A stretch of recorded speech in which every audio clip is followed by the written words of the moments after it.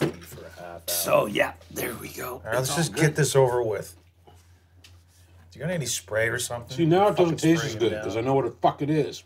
Well, It's men- mentological, isn't it? uh, mental? No, no, no. What do they call that? It's in your Jesus, brain. Randy, here, look. What is that? How does that make you feel? Is that What your is that? A gorilla with a statue big? of your fucking dad. That looks like a pretzel penis. Yes. Just take a sip of it. It's got that. something inside. That's a pretzel penis. He's got a hole right in his scrotum and right in his butt. You're so fucked, Randy. He must have had a vasectomy, this gorilla.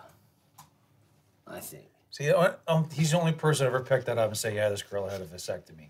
And where did he get the is. barrel, Julian? That's I don't nice- fucking know, Randy. His back looks like my back.